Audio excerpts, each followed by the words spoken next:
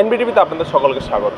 আমি নিজাম পারভেজ আপনাদের সঙ্গে রয়েছি। আজকে এমন একটি বিষয় আপনাদের সামনে আমরা নিয়ে আসতে চলেছি, যেটি আমরা মনে করি অত্যন্ত একটি গুরুত্বপূর্ণ বিষয়। আমরা জানি ভারত একটি বৈচিত্র্যপূর্ণ দেশ। ভারতবর্ষে একশো চল্লিশ কোটির কাছাকাছি মানুষ রয়েছে এবং বিভিন্ন ধর্মের মানুষ রয়েছে। আমরা একসঙ্গে সহাবস্থান করে বড় হয়েছি।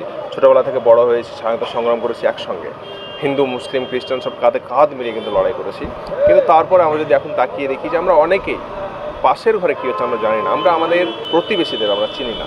আমরা জানি মসজিদে কী আছে আমরা জানি না, মন্দিরে কী আছে আমরা জানি না। এই যে একটা দূরত্ব, যে একই সঙ্গে বাস করার পরেও, একই সঙ্গে থাকার পরেও আমাদের দূরত্ব তৈরি হয়ে গেছে, সেই দূরত্ব ঘোচানোর চেষ্টায় আমরা। আমরা আজকে এসেছি কলকাতার বিখ্যাত নাখোদা মসজিদে। আপনাদের আমরা দেখাবো যে মসজিদে অ্যাকচুয়ালি কী আছে, মসজিদে কী হয়। মসজিদ ট্যুর বলা যায়।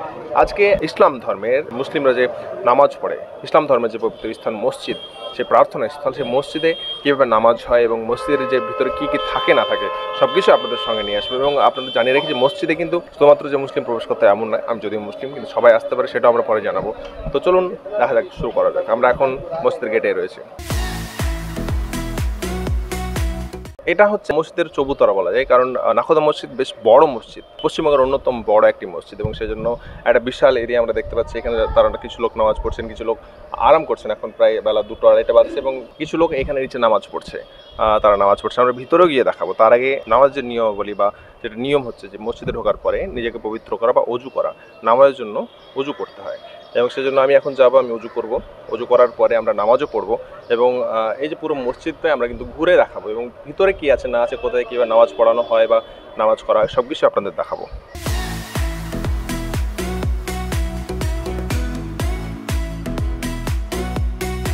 এখন আমরা মসজিদের ভেতরে প্রবেশ করছি এবং উপরে যেখান থেকে ইমাম সাহেব নামাজ পড়ান দাঁড়িয়ে মেম্বার, সেখানে আমরা যাচ্ছি এবং দেখাবো। সেখানে আমরাও নামাজ পড়ব এবং আপনাদের সেই জায়গাটা দেখাবো। এটা সিঁড়ি। পুরোনো আমলের সেই সুন্দর মার্বেলের।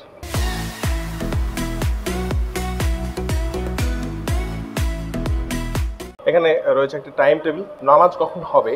আজান কখন হবে? আজানের একটা সময় পরে কিন্তু নামাজ হয়।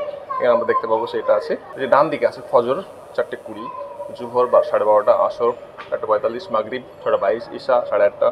জুমা বারোটা পনেরো। সেহেরি শেষ হচ্ছে তিনটে একুশ, ইফতার ছটা বাইশে। তো এইখানে মোটামুটি টাইম টেবিল দেওয়া আছে যে নামাজ মানে কখন হবে, জামাতটা কখন দাঁড়াবে, অর্থাৎ একসঙ্গে সঙ্গপদের নামাজটা হয়, সেটা কখন হবে, সেটা টাইম টেবিলটা দেওয়া আছে। এইটা হচ্ছে ফার্স্ট ফ্লোর খুব সুন্দর। সাধারণত ইমাম সাহেব এখানে নামাজ পড়ান, তারপরে তার পিছনে সবাই দাঁড়ায়। সিলিংটা কিন্তু অনেক উঁচু, সৌন্দর্য। সুন্দর মসজিদ এবং সেখানে কিছু বই রাখা আছে। আপনাদের আমরা দেখাবো কী কী বই রাখা আছে। প্রথম কথা হচ্ছে, আপনি জানিয়ে রেখে এই যে আমরা ভিডিও করছি এটা তো আমার কারোর অনুমতি লাগেনি। এখানে আমরা এসেছি, আমরা প্রবেশ করেছি, আমরা নিজেদের ভিডিও করছি এবং কী আছে, না আছে সেটাও কাউকে বলতে হয়নি। আমরা আমরা আপনাদের দেখাচ্ছি। শুনে এখানে কী আছে দেখাবো আমরা। সো নর্মালি এখানে কোরআন আছে অ্যাকচুয়ালি যতগুলো বই আছে সবগুলো কিন্তু কোরআন এখানে কোরআন অর্থ সহ কোরআন রয়েছে এখানে।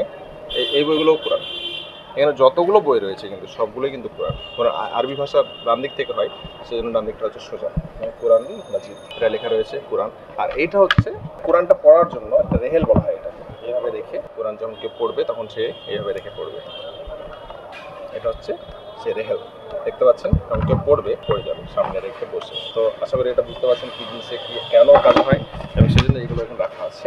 এবং যতগুলো মসজিদ যাবেন সবগুলোই। এখানেও কিছু দেখুন, এখানে কিন্তু কিছু লক করা নেই। কিন্তু ওপেন এখানে সবগুলোই কোরআন, যতগুলো দেখছেন এখানে বই, প্রত্যেকটা বই কিন্তু কোরআন। এবং যারা চান তারা এসে এখানে ঘুরে যেতে পারেন। জাস্ট একটু পবিত্রতা বা পরিষ্কার পরিচ্ছন্ন হয়ে আসলেই হবে। নর্মালি মুসলিমদের যে নিয়ম আছে বা পরিচ্ছন্নতার প্রতি অনেক গুরুত্ব দেওয়া হয় এবং সেই গুরুত্ব সহকারে কিন্তু আমরা যখন ঢুকি তখন উজু করে ফ্রেশ হয়ে ঢুকতে হয়েছে। সেরকমই অমুসলিম যারা আসতে চান, দেখতে চান, তারা কিন্তু সবসময় ওরকম আমরা দেখাবো, এগুলো ডোনেশন বক্স সো এগুলো সব ডোনেশন বক্স এখানে ডোনেশন চাঁদার জন্য সব চাঁদা নেওয়া হয়, এখানে রসিদ রসিদ রাখা আছে, কারণ কালেকশনের ওপরেই চলে। এখানেও কোরআন ওখানেও কোরআন ওই যে ভিতরে দেখছেন, কাপড়ের ভিতরে সেগুলো কিন্তু কোরআনই রাখা আছে। সবগুলো কারণ কোরআন খুবই পবিত্র একটা বই এবং সেখানে পবিত্রতার জন্য কিন্তু সেই কোরআনটাকে সেভাবে দেখানো হয়। এখানেও কোরআন রয়েছে। মসজিদে আসলে কিছু বই যেগুলো পাওয়া যায়, সেটা হচ্ছে কোরআন পাওয়া যাবে।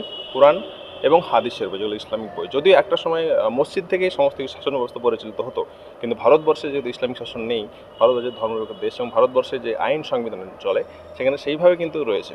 মসজিদের সবথেকে বড় বিষয় এই যে জায়গাটা রয়েছে, এটা হচ্ছে মিম্বার। এখানে দাঁড়িয়ে ইমাম সাহেব নামাজ পড়ান। যিনি ইমাম সাহেব, তিনি সামনের যে জায়গাটা রয়েছে, এখানে ইমাম সাহেব দাঁড়ান। তার পিছন থেকে যে মোয়াজ্জিন বা যারা মুসল্লি, তারা কিন্তু তার পিছনে দাঁড়িয়ে থাকেন, সেটা আপনারা দেখতে পাচ্ছেন। এবং এই যে জায়গাটা, দেখছেন সিঁড়ির মতো জায়গাটা এখানে একটা কোরআন রয়েছে, এগুলোকে বলা হয় তসবি অনেক জিকির আছে ই করা আজকার জিকির। তো আল্লাহর নাম নেওয়া সুবান আল্লাহ পড়া, তো এটাতে মোটামুটি একশোটা আছে। আল্লাহর নাম আছে, নিরানব্বইটা, একশোটা নাম আছে, সেই নাম বা কেউ এটা জাস্ট কাউন্টের সুবিধার জন্য। এবং এই যে জায়গাটা দেখ এটা হচ্ছে আসল মিম্বার। এটা শুক্রবারের দিন, জুম্মাবারের দিন। আলোচনা হয়। সে আলোচনাতে কি হয়? যে ইমাম সাহেব থাকেন, তিনি বিভিন্ন বিষয়ে আলোকপাত করেন। কি চলছে, না চলছে, দেশ, সমাজ, বিশ্ব বিষয়ে কিন্তু তিনি নর্মালি আলোচনা করেন এবং এটা প্রত্যেক শুক্রবারে জুমার নামাজে এবং জুমানোর সেজন্যই তৈরি। তো এই যে জায়গাটা, এখানে দাঁড়িয়ে কিন্তু করেন। কারণ এই জায়গাটা উঁচু, সিঁড়ির মধ্যে থাকার কারণ হচ্ছে এখান থেকে যেন তিনি যে মুসল্লি থাকবে শুক্রবার দিন সাধারণত অনেক বেশি লোক থাকেন। তারা সেখানে দাঁড়িয়ে যেন বলতে পারেন, সেজন্য করা হচ্ছে। এগুলো হচ্ছে নামাজ পড়ার জন্য জায়গা। এটা জায় নামাজ বলা হয়, এটা বিছিয়ে নামাজ পড়া হয়। তো সাধারণত এখন দরকার নেই, এখন গরমের সময় বলে মানুষ এটাই পড়ছে। কিন্তু শীতের সময় বা সময় কেন কার্পেট পিছনে থাকে। তো কার্পেট এটা। আপনার দেখাচ্ছি যে পুরো মসজিদে যে বইগুলো রয়েছে সবগুলোই কোরআন। এখানেও তাই। এই যে বইগুলো রয়েছে, এগুলোও কোরআন। এটা হচ্ছে অনুবাদ কোরআন, এটা উর্দু এবং অ্যারাবিক তার নিচে উর্দু লেখা আছে। এটাও কোরআন আল কোরআনুল করিম ইংরেজিতে লেখা আছে, এটাও কোরআন। আল কোরআনুল করিম। সবগুলোই কিন্তু কোরআন। এটা নিয়ম। এবং এখানেও লক নেই, এগুলোও কোরআন। এগুলোও কোরআন। কয়েকশো কোরআন রয়েছে, অন্যান্য হাদিসের রয়েছে, সেগুলো সব কিছু। এবার আমরা নামাজ পড়ব, আমরা এসেছি, আমরা উজু করে দাঁড়িয়ে আছি, নামাজ পড়ব কিছু। তারপরে আরও যে অংশগুলো আছে, সেগুলো কিন্তু আমরা দেখানোর চেষ্টা করব।